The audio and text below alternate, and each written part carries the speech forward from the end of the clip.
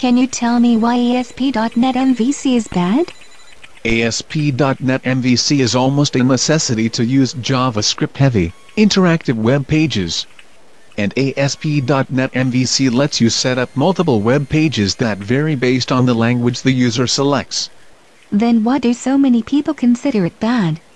Aside from the people working with ASP.NET 1.1?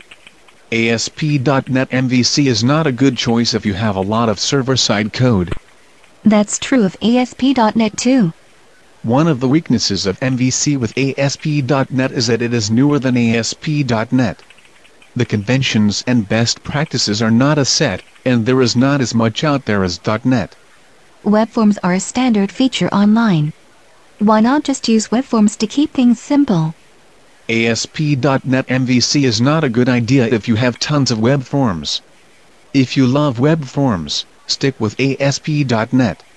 Web forms allow you to have rapid application development. That's pretty much a necessity given that you can't reuse them from instance to instance. MVC lets you reuse a lot of code, improving productivity overall even if there is a learning curve. MVC supports code module reuse, but ASP.NET MVC really doesn't. I thought they had a lot of built-in features to make things efficient in addition to its built-in controls. ASP.NET MVC has a horrible routing API. Don't use ASP.NET MVC if you have a lot of controls. So what should I do? Implement MVC but without ASP.NET. Or use ASP.NET through SharePoint for a point-and-click development interface. And all of this is on top of the learning curve. ASP.NET has a modest learning curve, but the fact that it is only used by Microsoft means that you'll have tons of headaches using it.